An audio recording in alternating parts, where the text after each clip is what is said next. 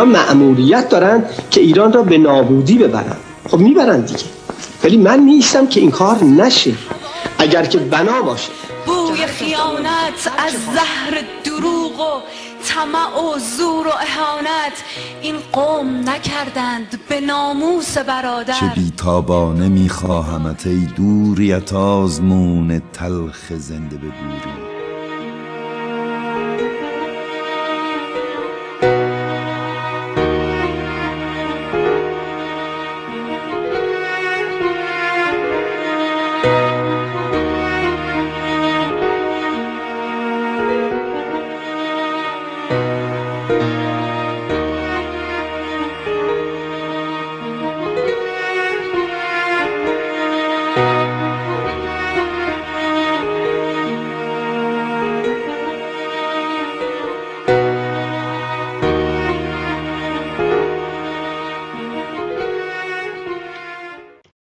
جانم فدای ایران. چون که شعار ما شد در چارسوی عالم این افتخار ما شد. در سرزمین جاوید قارتگران رسیدند. با پنجه های خونین پیراهنش دریدند. انبار ثروتش را از خاک ما ربودند. در دست غیر دادند. اینها خودی نبودند. چون غزه کعبشان بود بر دامنش نشستند دلهای اهل ایران با کارشان شکستند. حزب خدایشان را ابلیس راهبر بود. لبنانشان وطن بود ایرانشان گذر بود. گفتن امام راحل حب الوطن حرام است. آزار هرچه ملی است ما را ره و مرام است. هر کو که عشق ایران جان و جهان او شد مرتد فطری است او. هم کفر او عیان شد. هم غزه گفت و لبنان هم مصر خانه اش شد. هم در عراق روحش مذهب بهانه اش شد. فرزند سیغهی شد ایران جاودانه. با زخمای دیری می‌خواند این ترانه. من خاک ماندگارم در هر زمانه پیدا.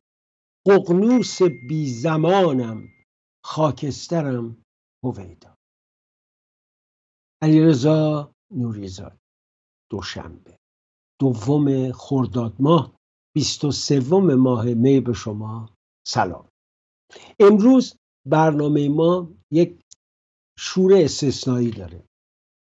همکار عزیزم مدیر نمایندگی ما در فرانسه و بنلوکس و آلمان محمد رضا شاهید در جنوب فرانسه است. در شهر کان پنج روزی فیلم ها رو دیده در اون جریانات بوده و الان زنده در برنامه زنده ما حضور داره. درود بر محمد رضا شاهید عزیز. شاهید عزیز صدای ما رو داری؟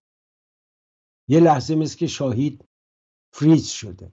امیدوارم که هرچه زودتر تماسش برقرار بشه. شاهید عزیز درود بر شما. خب بخش فنی ما دوباره شاهید رو خواهند گرفت و امیدوارم چون برنامه جالبی بود به خصوص این فیلم خاصی که او تماشا کرد و که این انکبوت مقدس عباسی و داستان اون هنایی که زنها رو میکشت. و مدعی بود می‌خواد با فساد مبارزه کنه اما در واقع خودش به این زنان سیاه روز تجاوز می‌کرد. و این نشان دهنده اینه که این آقا دروغ می‌گفت. این آقا فاسد بود و از رژیم هم حمایت می‌شد. یعنی علم الهدا حامی و پشتیبان او بود. و تحسینش هم می‌کرد آفرینم بهش می‌گفت. خیلی جالبه برای من. در این رژیمی که به هر حال آقای محمد رضا شاهید به من زنگ زده استودیو داره دوباره شما رو می‌گیره آقای شاهید. آماده باشید دارم با شما تماس می‌گیرم بله بله. به هر روی داستان انکبوت مقدس به اعتقاد من کارگردان شهامتی کرد که موفق شد این فیلم رو بسازه. به خصوص اون انگشتر عقیقی که نشانه این رژیم است نشانه دروغگویان و فاسدانی که خانه افت درست می‌کنن در مشهد. دلال محبت علم الهدا بزرگ دلال محبت. خواب رهبری هم می‌بینه خیلی جالبه. به دامادش گفته اگه تو قبول نکردن من هستم. خلاصه من می‌تونم بیشتر مقبول باشم تا آقا مشتبایی که مورد نفرته ولی خودش نمی‌دونه چقدر مورد نفرت دستگلی که شهردار آبادان داد دستگلی که باعث کشته شدن ای از شهروندان شد و ویرانی به بار آورد شما رو می‌برم به آبادان و نخست اونجا رو تماشا کنی. حالا که با محمد رضا عزیز نتونستیم هنوز تماس برقرار کنیم. میریم به آبادان. سلام و درود رادیو گوشی کناری های عزیز. حسین عبدالواقی برای اینکه معلوم نشه چه غلطی داشته داخل متروپول می‌کرده تو مجتمع های تجاری دوقلوی متروپول اومد دور این مجتمع ها رو داربست کشید. و این باعث شد که امروز یک پراید طبق عکسی که دارید می‌بینید با این داربست ها برخورد بکنه و الان راننده این پراید در حالی که توی خیابونی که حقش بوده تردد می‌کرده و تصادف کرده توی بیمارستان باشه. ولی می‌دونید حسین عبدالباقی به واسطه این داربست ها چه چیزی رو می‌خواست پنهان بکنه؟ این اتفاق رو. این که ستون اصلی و حمال مجتمعهای برجهای دوقلوی متروپول نشست کرده و شکم داده. و به گفته مهندسان نظام مهندسی آبادان این ساختمان. حتی به افتتاح هم نخواهد رسید. انقدر سازه این ساختمان سسته و انقدر وضعیتش بده که اگر حجم دیوارها بیاد روش و حجم نما روش بیاد حداقل دو طبقه از این ساختمان میریزه. این چیزی بود که حسین عبدالباقی نگاه کنین کامل روی مغازه ها پایینش هم همه پر بود همه گیر کردن.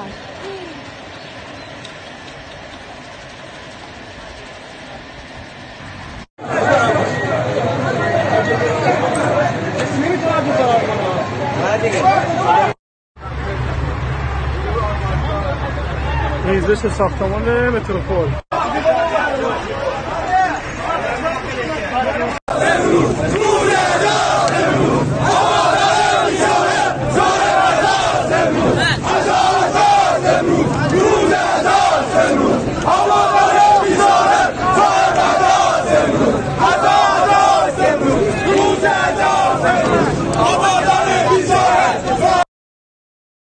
ملاحظه کردید؟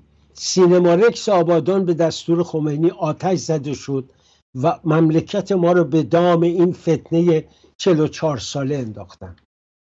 آیا رکس به متروپول ختم میشه؟ امیدوارم. مردم آبادان مردم غیرتمندی نگاه کنید که فریادهاشون به چه سویی می‌رفت و خطاب به کی داریم آقای شاهید رو الو. بله بله. آقای شاهید صدای منو دارین؟ آقا سلام. به شما بینندگان می‌دونید که جشنواره ای که 35 هزار بازدید کننده حاضر چهار هزار روزنامه نگار از وای فای و امکانات تکنیکی اینجا بس میشه. من ساعتی قبل چک کردم صدا همه چی خوب ولی کنار من روزنامه نگاران با صدای بلند به زبانه های بین المللی و من هیچی نمی‌فهمید اومدم الان در اینجا جای بسیار زیبای پشت و بام جشنواره ولی همونطور که ملاحظه کردین وای فای مشکل داشتم تکنیک های دیگر. متاسفم حرفای بسیاری برای گفتن دارم و داشتم و خواهم داشت نمی‌دونم از کجا شروع کنم. محمد عزیز این کار از با گفتگو انجام میدیم. بعد تو انقدر فیلم تهیه کردی که در طول آقای نوریزاده صداتون شفاف نیست برای من صدا از دور میاد. من در هر حال صدای عادیمو دارم صحبت می‌کنم. گفتم اینقدر فیلم تهیه کردی که در طول هفته مردم خواهند دید ولی راجع به همین چیزی که خیلی مهمه این انکبوت مقدس. برای ما بگو چون سوال از کارگردانش هم کرد. و ما فیلم بله آقای بله بله. می‌دونید یه خودم با عجله و سریع صحبت بکنم. برای اینکه قطار من تا سی و یک دقیقه دیگه حرکت می‌کنه. تازه بعد از اینجا برم تا ایستگاه تران فیلم خا... انکبوت مقدس می‌دونید داستان همون مردی است که در مشهد زنان خیابانی رو میکشت و این شایب شدت باورمند شد که دولت دست داره برای اینکه از نظر خودش پاکسازی کنه و این زنانی رو که خودش باعث شده به تن فروشی بپردازن رو از بین ببره به قول خودشون مشهد رو پاکسازی کنه. آقای نوریزاده فاجعه در این فیلم اینجاست. بچه افتخار می‌کنه. سبزی فروش سبزی مجانی میده. مردم میان حمایت از یک قاتل می‌کنن و جامعه میپذیره که این آقا کار درستی کرده. جمهوری اسلامی می‌خواد در محافل بین المللی آبرودار باشه. در به این قاتل بدبخت می‌گویند که ما تو رو آزاد می‌کنیم. دروغی هم به شلاق می‌زنن به دیوار میگن بگو آخ آخ. بعدم میگن وقتی میری پایدار ما از اونجا تو رو در باز می‌کنیم که بری. و چنین چیزی اتفاق نمیفته امروز کنفرانس مطبوعاتی بود.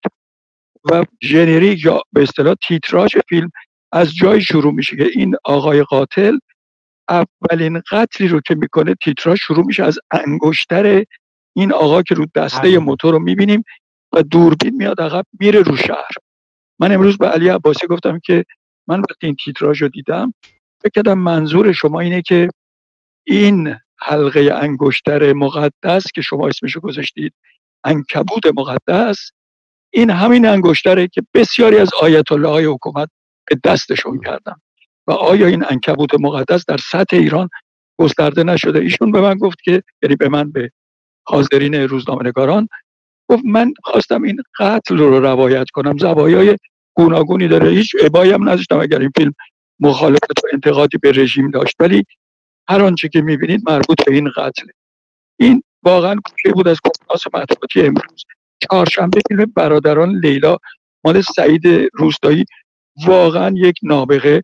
اون فیلم اولش از ابد تا یک روز بعد فیلمه که چند وقت پیش اینجا تو پاریس استقبال زیادی داشت متری شش و حالا برادران لیلا. یکی از های ترفند که لغت شاید درستی نباشه آقای سعیدی روستایی که بازیگران بسیار خوبی داره. برای خیالش راحت به کارهای دیگه می‌رسه. یک فیلم دیگه هم از مال علی برداد که اونم هنوز آخر هفته است. مهمتر که حتما همه می‌دونن. افتخاری برای همه ایرانیا. آقای اسخر فرهادی جزو عضو هیئت داوران او که جوایز معتبری رو دریافت کرد. حالا یکی از نه نفر داورانی است که تمام فیلم های مسابقه رو باید داوری بکنه. راجع به روسیه هم یک چیز جالب براتون بگم. به آقای تریفرمو دبیر جشنواره گفتن آقا حالا که جنگ اوکراین و تحریم و اینا گفت ما باید اقراق نکنیم نه از این ور نه از اون ور.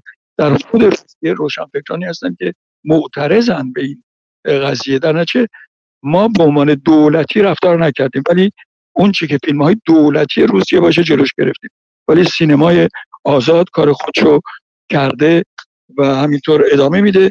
موضوعاتی که دیگر اگر بخوام با قول معروف مطلب بگم. نکات جالب این است که مراسم حالا پرده برداری که هر سال یک پستر واقعا زیبا. امسال عدد روندی داره هفتاد و پنجمین سال و یک اعتبار متفاوت بعد از کرونا و حالا که جنگ اوکراین. هنوز من فیلم شاهکار مثل قدیما ندیدم ولی فیلم های خوبم زیاد دیدم. اگر اجازه بدین روز شنبه در برنامه زیر آسمان پاریس یا در طول هفته از پاریس گزارشهایی رو برای شما تقدیم کنم. ممنونم. آقای شاهید خانم فراهانی هم اونجا بودن. ایشون چی کار می‌کرد؟ راجبه کی؟ خانم گلشیفته فراهانی. خانم گلشیفته فراهانی در فیلم خواهر و برادر نقش دوم داره. یعنی هنرپیشه اصلی یک کسی دیگری خانم فرانسوی کلوتید ولی او همونجا آمده و خانم باهوشیه دیگه. وقتی که نقش اول مال یک کسی دیگه است نخواسته بیاد او که خودش صاحب فرش قرمزه. ولی یک خانم دیگری به نام امیلی حاطف یه فیلمی ساخته بیشتر از همیشه. داستان یک زنیه که سرطان داره. دیشب شانسی در یک رستوران دیدمش. حیرت کرد که منی که یه کارگردان چطور چهره می‌شناسم. خیلی خوشحال شد که میشناسمش و بهش گفتم که این فیلم تقدیم باید بشه به همه اونایی که یا خودشون سرطان دارن یا اطرافیانشون سرطان دارن. فیلم بی نهایت زیباییه. حالا جز اینکه غمگینه به کنار یک نوع امید در ناامیدی و ناامیدی در امیدواری در جای نروژ. اتفاق شباهت اینجاست که اینا رفتن یه جایی که حتی تماس تلفنی ندارن و هر روز مردم میرن بالای این کوه عین درختای کوه و یادم میاد رادیوهای قدیم که جمهوری اسلامی پارازیت مینداخت مردم می‌رفتن صد کرج اون بالاها. میرن اون بالا به عزیزانشون تلفن می‌کنن و بعد برمیگردن پایین. خیلی فیلم زیبایی است به نام بیشتر از همیشه. قرار در نیمه پاییز در در پاریس روی اکران بیاد. اگر اجازه بدید آقای نوریزاده برم یه لحظه آخرین فقط یه سوال ترن. ممکن از دست. بدم. یک سوال دیگه خیلی کوتاه. میگم وقتی اونجا گفتید شاهید از ایران فردا دوستان ایرانی واکنششون چه بود؟ دوستان ایرانی چی؟ واکنششون وقتی می‌گفتید شاهید ایران فردا. بله گفتم البته فیلمش هم هست در زیر آسمان پاریس خواهم گذاشت. فیلمش هنوز نیومده رو سایت ولی تا دو سه ساعت دیگر روی سایت جشنواره کن خواهد بود. طبیعی بود که هر روزنامه‌نگار خودش رو معرفی کنه. منم منم خود خودم رو معرفی کردم. درود. ممنونم محمد رضا شاهید از فستیوال کان. خیلی ازت. سپاس گذارم. خب برگردیم به حکایت خودمون. یک سرهنگ سپاه قدس حسن سیاد خدایی به دست دو موتور سوار کشته شد. اسرائیلیا اعلامیه دادن که این آدم باعث مرگ اسرائیلیا شده. در عملیات در یمن در عراق در سوریه در ساختن پهپادها و بعضی از انواع موشک‌ها ایشون یک کارشناس بود. بسیار متاسفم که یه هموطنم به قتل می‌رسه ولی هموطنی که در خدمت رژیم جهل و جور و فساد. امیدوارم خانوادش ضمن گرامی داشت یاد او به این هم فکر کنند که ساخته های دست او یا آنچه را او در این مورد نقش داشت توش باعث مرگ بسیاری از انسان ها شد. شما نمی‌دونید در یمن چقدر کشته به جا مونده. این کشور بیچاره فقیر با همه مشکلاتش داشت زندگی می‌کرد. جمهوری ولایت فقیه الان هشت ساله. راه زندگی اونا رو بسته. کشور تکه پاره شده. و الان هم که آتش بس برقراره باز حوسیا رو تشویق می‌کنه به اینکه عملیات نظامی انجام. به حال ماجرای آبادان رو دیدیم و من چقدر متاسفم برای این شهر دوست داشتنی. شهر بوارده و بریم. شهری که بسیاری از سفرها که به اونجا داشتیم و چه خاطرات خوشی از اونجا داریم. خب اول بریم یه سری بزنیم به تظاهرات بازنشستگان. درود بر انسانهایی که در سنین کهولت در سنین بازنشستگی دلاورانه به میدان میان. ببینید دو هفته است یک روز هم نیست که در رژیم با آرامش سرشو بذاره زمین. یک روز هم نیست که سید علی آقا مجلس گعدش با خوشی آقای ولایتی جوک بگه و ادا دراره آقای حداد عادل قشقش بخنده و حاج آقا هم حال کنه. بریم نزد بازنشستگان با درود بسیار به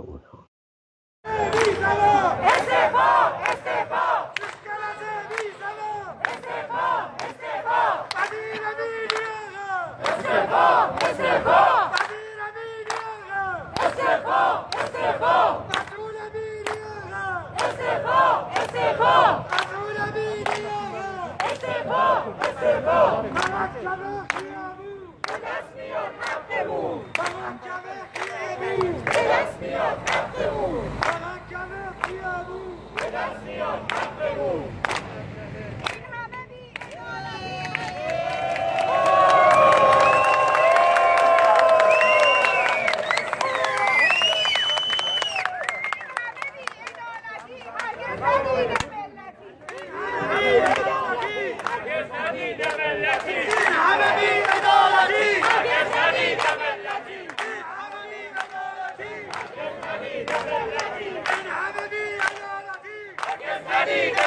اونها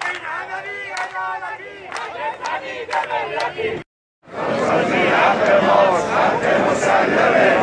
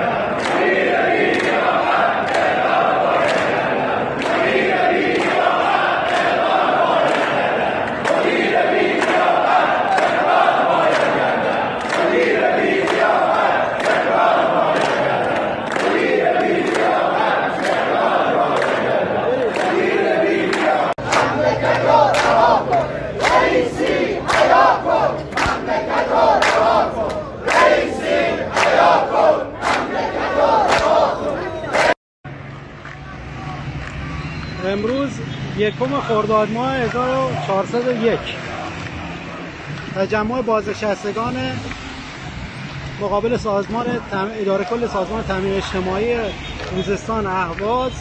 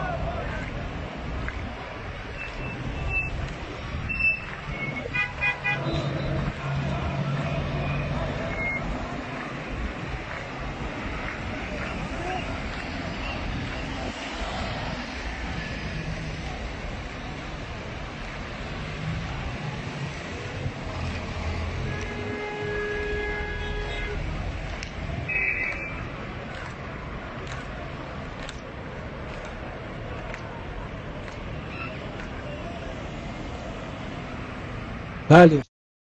این بازنشستگان با غیرت ما هستند یه وقتی نگاهشون می‌کنی جان می‌گیره آدم. جوونا کجایی؟ جوانا موقع شماست نوبت شماست که آزادی وطن رو فریاد کنید راجع به آبادانیا گفتم. راجع بچه های ایزم گفتم. راجع مسجد سلیمان و دیگر شهرهای خوزستان هم گفتم. شیراز اصفهان. گلپایگان درود بر شما. شمال اهل شمال. مازنی ها گیلانی ها تالشی ها کجایید؟ الان موقعی است که به این رژیم نشان بدید که همه همدل و یک پارچه است. من متاسفم که هر بار میام اینجا باید به یکی از همکارانم دلداری بدم. نوید محمدزاده دوست نازنین و همکار من نیز برادرش رو دست داد. اونم دور از خانه پدری. نوید جدا از اون و چقدر این خانواده محترم عزیزن. خانواده نازنینی که توشون مورخ بزرگی از توشون کردهای دلاور خراسانی است و بسیار متاسفم و با او همدلی می‌کنم. اونتا می‌دونم نوید کوه و کوه نمیشکنه یه خبری در اغلب خبرگزاری ها در روزنامه ها در رادیو تلویزیون بود و اون راجع به کشته شدن چند قاچاقچی در مرز اردن و سوریه. اینا خواستن وارد اردن بشن و صدها هزار صدها هزار قرص کاپتاکون گون یا 181 ورقه هشیش 637 هزار قرص کاپتاگون 39600 قرص ترامادول وارد اردن قرصایی که به قرصای جهادی معروفه و حسن نصر شیطان رهبر حزب و شیطان صادر کننده و تولید کننده اوست. سال گذشته ببینید چه ضررهایی این جانورها به لبنان زدن. سال گذشته لبنان یکی از صادراتش که همیشه از قدیم ما یادمونه سیب لبنانی پرتقال لبنانی انار لبنانی. یادم از بچه بودم مثلا سیب لبنانی و پرتقال لبنانی از همه چی بیشتر دوست داشت بعد که لبنان رفتم اون وقت دیدم چه میوه هایی داره این کشور. انار لبنانی که یک منبعی بود یک رقمی بود در صادراتش به عربستان سعودی توش ده هزار قرص و مواد مخدر پیدا کردن که حزب الله توش این کارو کرده. و عربستان ورود میوه و سبزی و تربار رو از لبنان ممنوع کرد. اینم از مزایای حزب شیطان برای لبنان.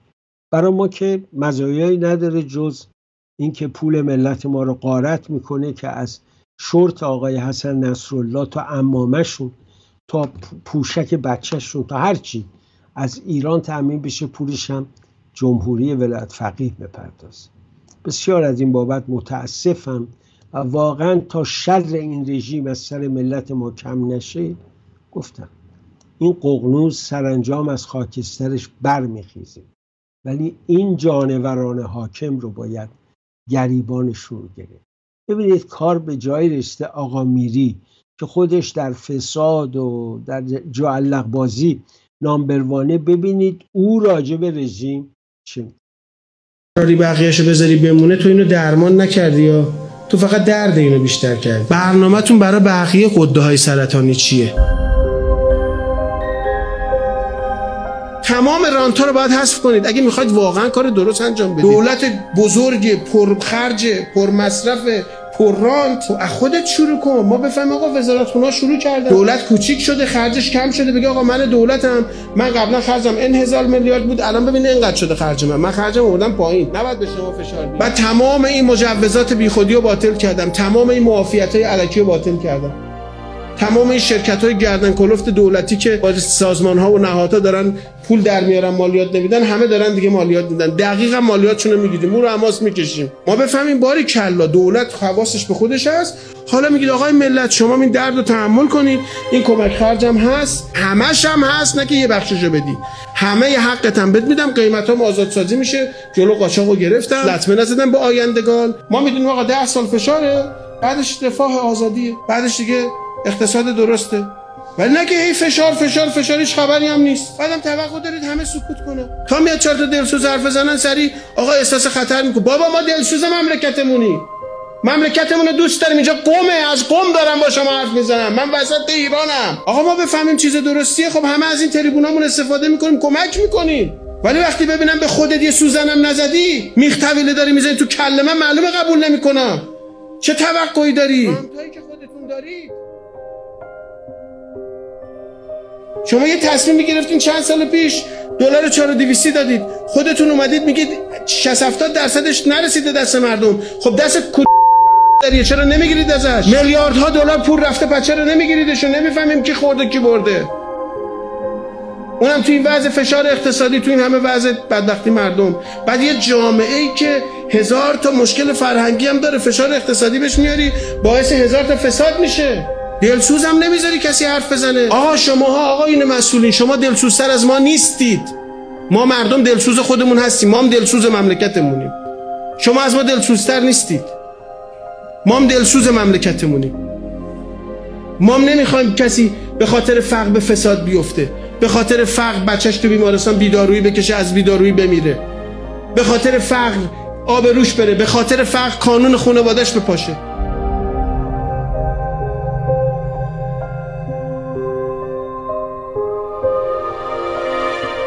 نمیشه فشار بی آقا میری. ای کاش صادق بود. ای کاش خودت اون آلودگی ها رو نداشتی. اون وقت حرفت به دل می نشست. اما امروز ما با جماعتی رو به رو هستیم که چون حرفاشون برای خودنمایی حالا که می‌بینن رژیم در حال سرنگونیه می‌خوان برای خودشون رپیتیشن برای خودشون یک اعتباری در نزد مردم ایجاد من درنگ کوتاهی می‌کنیم برمیگردیم. می‌خوام یه نوار خیلی مهم براتون پخش کنم. با ما باشید. با درود دوباره. مرجان وحدت بود. با شعری از محمد ابراهیم جعفری که خیلی از شعرهای سیما بینا از او بود و سال گذشته ما رو ترک کرد. آقای سید ابراهیم رئیسی ناقار زن در قصر مقام معظم رهبری تشریف بردن به مسقط. به کشوری که وجود و کیان و ماهیتش مدیون ارتش شاهنشاهی ایران. نگاه کنید از این مردک چجوری استقبال می‌کنن؟ مردک به معنای واقعی مردک. ببینید چجوری. دوم خرداد. روزی که مردم به یاد میارن چه حال و روزی داشتن. وقتی خاتمی انتخاب شد و حیف این ماشین نیست که این توش نشسته این اولاق باید سوار می‌شد. حیف اولاق واقعا. یا ابو باید سوار می‌شد. همون مثل آخوندهای قدیم که با اولاق می‌رفتن روزه خونی یادم نمیره. مرحوم کفایی میمد پدرش اینم دنبالش میمد عاشق محمود. پدر سوار اولاق بود اینم دنبال اولاق باباش میدوید. میمد منزل پدر بزرگم روزه. بعدم خونه ما خود عاشق محمود میمد خدا رحمتش کنه. آدم خوبی بود. و بله. نگاه کن. پادشاه عمان. و پسر عموی سلطان در گذشته قابوس از سید ابراهیم رئیسی استقبال می‌کنه. و شما باید می‌دیدید وقتی قابوس با پادشاه فقید برخورد داشت. دلا چه احترامی داشت. در همین عمان ما چه احترامی داشت. حالا سید ابراهیم رئیسی میره گدایی که پولای که انگلیس دادن آزاد بشه. آزاد بشه تا بتونن تعهدشون رو به حسن نصر و شیطان انجام بدن. به حماس به جهاد اسلامی به هشت و شعبی به حوسی ها همه کور و کچل های منطقه رو جمع کردن دور خودشون همه رو دیروز تو عراق خیلی جالب بود. آقای مسعود بارزانی یه پیامی داد بعد اتحادیه میهنی با حزب دموکرات نشستن بعضی اختلاف ها رو حل کردن. امیدوارم. امیدوارم حزب دموکرات از ریاست جمهوری دوباره آقای دکتر برهم صالح حمایت بکنه و در مقابل اتحادیه میهنی هم از اینکه حزب دموکرات کردستان وزارت خارجه رو بگیره حمایت کنه. چون حقا حق اوناست. یا وزارت خارجه یا وزارت مالیه. و گمان من وزارت خارجه مهمتره برای اینکه تمام ارتباطات بین المللی اون وقت دست کرداست. و این خیلی خوب خواهد در حال چه بگویم که یکی از کلیپی گفتم براتون پخش می‌کنم بسیار مهمه. روزی که احمد خمینی از عملکرد خود نسبت به آقای مرحوم آیت الله منتظری پشیمان شد. می‌رفت اون دکون بقالی نزدیک خونه آقای منتظری میگو آقا من که تو خونه را ندارم. ولی شما به آقازادهشون به آقا سعید به احمد آقا بگید من چقدر متأثرم از فریبی که خورد. و این به گوش آقای منتظری رسید در گفتگویی که با هم داشتیم بعد از اینکه من خاطراتشون رو در سیزده شماره از شرق الوسط چاپ کردم ایشون خیلی محبت کرد به من با هم تلفنی حرف زدیم و ایشون هم اشاره داشتن در برابر سوال من.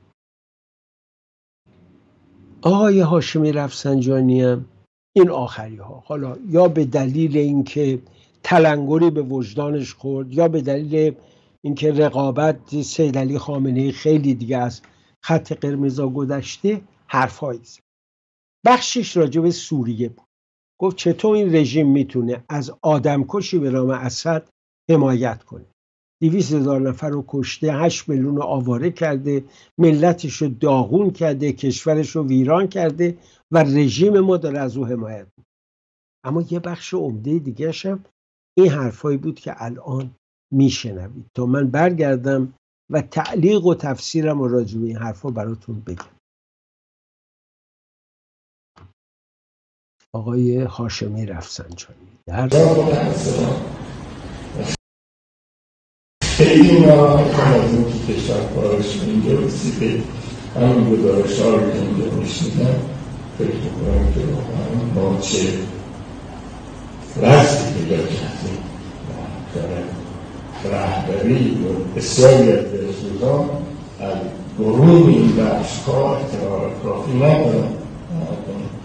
حتی مسیر اطلاعات رو همینا محدود کردن مشکل کردن. فضای امنیتی رو به گونه ای کردن که اگر مثلا دو ماه پیش همین آقایانی که صحبت می‌کرد الان باید بعد از جلسه برم تو وزارت اطلاعات توضیح بدن احضارشون می‌کردن و تحقیقشون می‌کردن این حرفا چی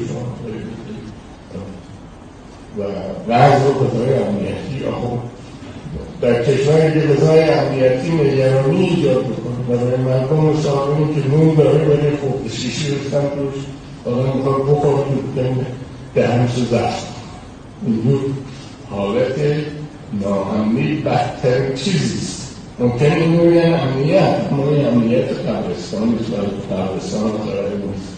اما یک جمع زنده و بانشات امنیت این که هر کسی بتونه راه خودش انتخاب بکنه حرف خودش رو بزنه.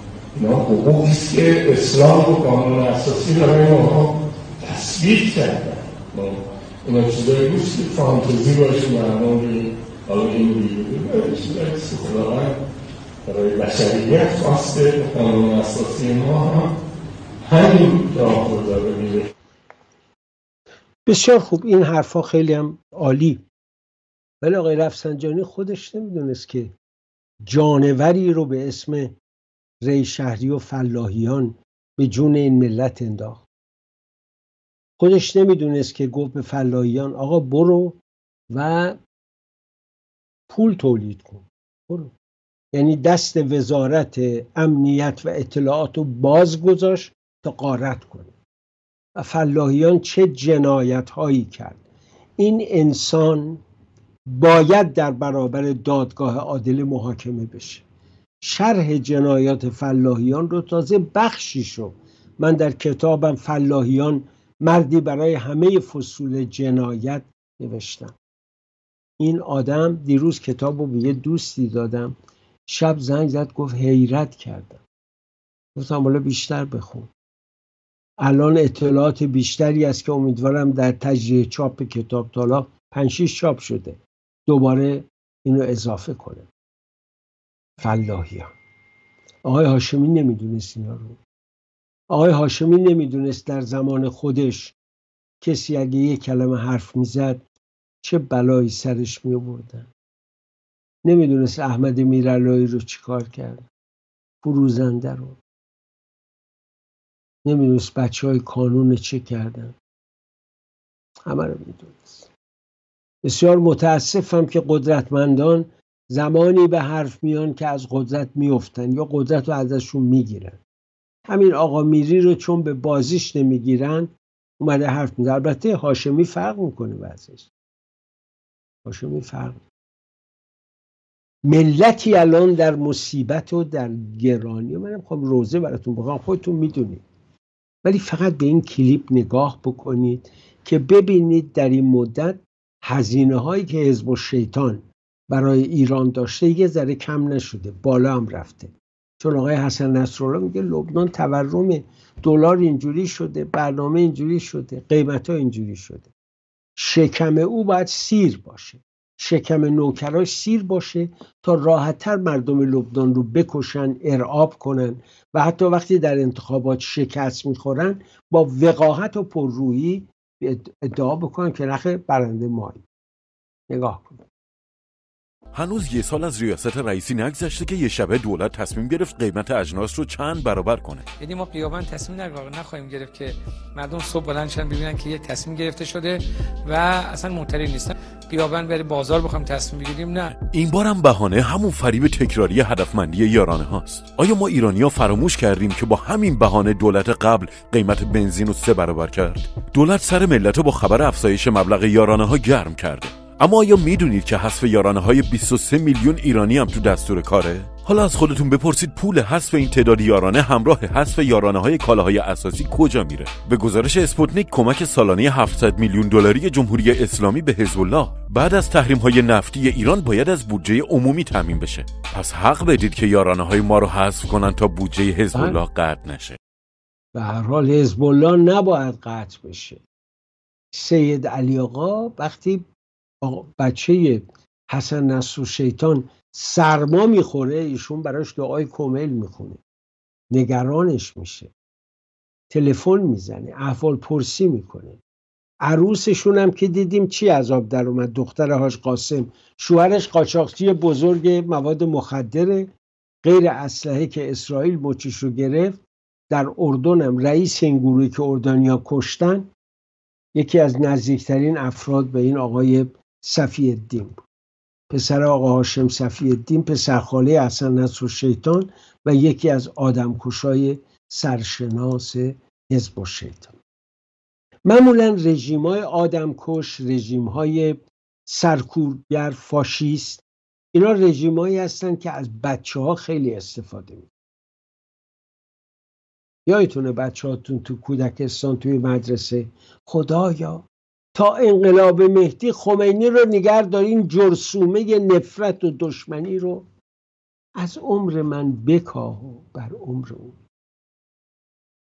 از همون اول شستشوی مغزی از همون اول دروغ و حق بازی و فریب رو تو مغز بچه ها کرد. و این اصلا شیوه رژیم های آدم خوره. نگاه کنید. حداقل مال اینا یه رقص و آوازی داره.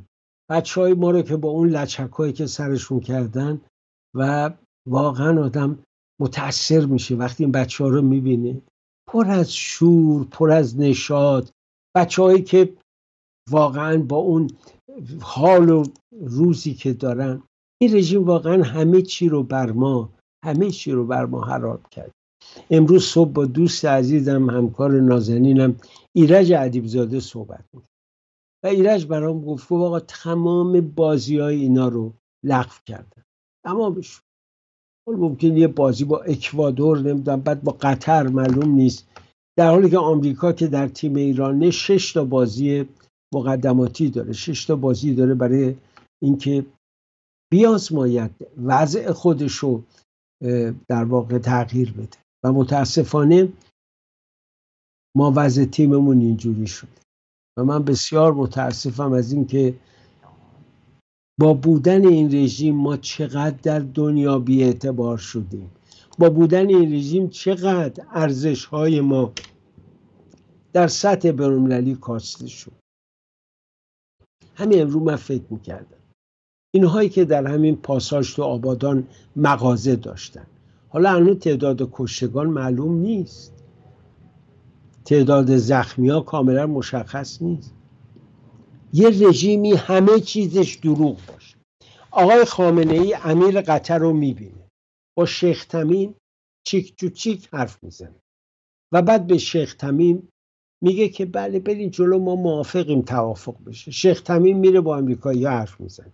با اروپایی حرف می‌زنه. بعد وزیر خارجش میاد اعلام می‌کنه میگه ایران آماده توافق.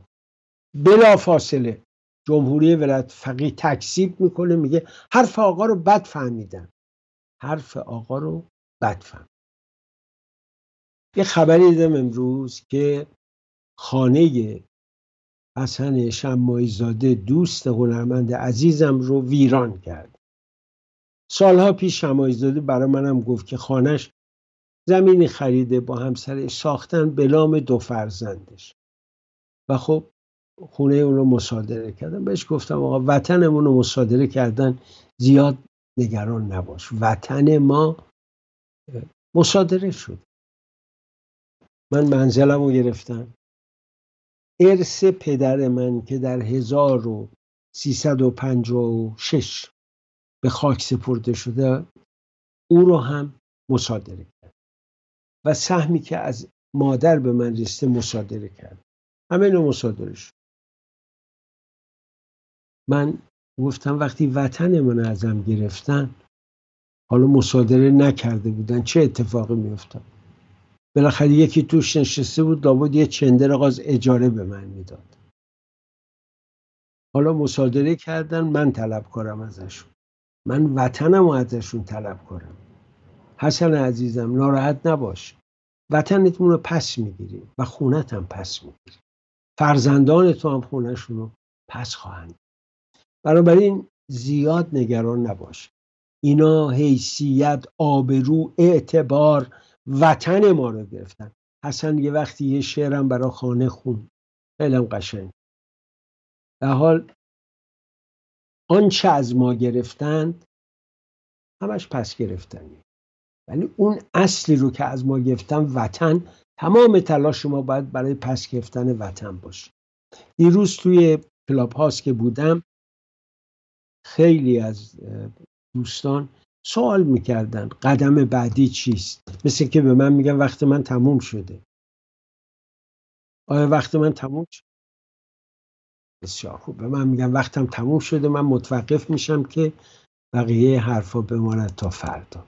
ایران سربلند. ایرانی سرفراز پرچم زیبای سرنگ شیر و خورشید می‌شد. هماره برافراشته بود. ایرزا نوریزاده تا فردا در پناه پروردگار.